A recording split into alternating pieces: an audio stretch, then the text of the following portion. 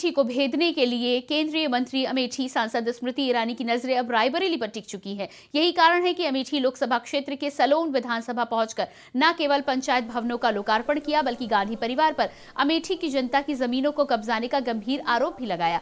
रायबरेली जनपद के सलोन विधानसभा के गोपालपुर में पंचायत भवनों का लोकार्पण करने केंद्रीय मंत्री स्मृति ईरानी और सूबे के ग्रामीण विकास मंत्री मोती सिंह पहुँचे। वहाँ पंचायत भवनों के लोकार्पण करने के बाद सुमित ईरानी ने गांधी परिवार पर जमकर हमला बोला।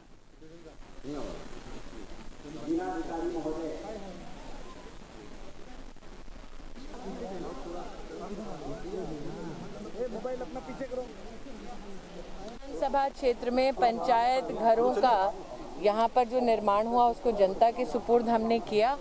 ये हमारा सौभाग्य रहा कि साल 2019 से लेकर अब तक अमेठी लोकसभा क्षेत्र में 300 से ज़्यादा सामुदायिक और पंचायत भवनों का निर्माण कर उन्हें जनता की सेवा में उपलब्ध करा दिया गया है।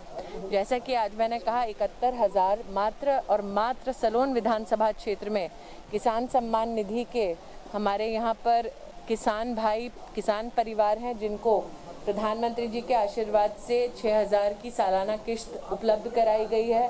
चालीस हज़ार से ज़्यादा परिवार ऐसे हैं जिनको आयुष्मान भारत की सेवा उपलब्ध कराई गई है।